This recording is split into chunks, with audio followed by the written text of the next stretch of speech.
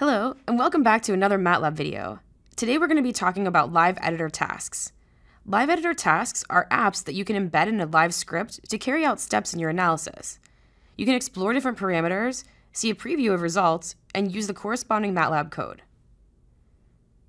In today's example, we will be smoothing temperature data and finding local maxima and minima. We've started writing our live script with some code that reads in the data and plots it. We've already used the smooth data task to smooth our temperature data. The task has generated a preview of the results, showing the original temperature data in blue and the smooth data as a dark blue line. The smooth values are given as a MATLAB variable, which you can use for further analysis. Live editor tasks perform a series of MATLAB commands. When you change parameters, it's reflected in the code that MATLAB runs. When sharing this script with others, you may want to control how the live editor task is displayed. From the menu, there are several options to show only the controls, the code, or both. You can also replace the task with the generated code. In our example, we want to find the min and max values of our temperature data, which we can do with another live editor task.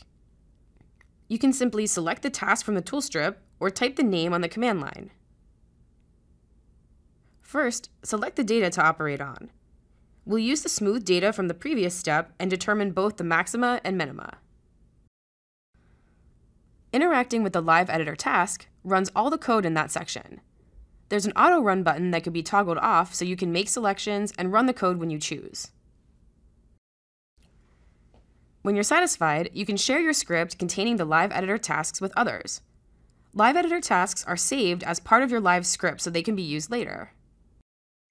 Now that you have a deeper understanding of MATLAB's live editor tasks, you can more effectively pre-process your data, share your code with others, and they can more easily see and understand exactly what you want them to.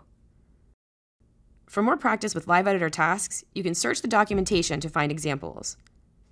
Thanks for watching, and I'll see you in another video.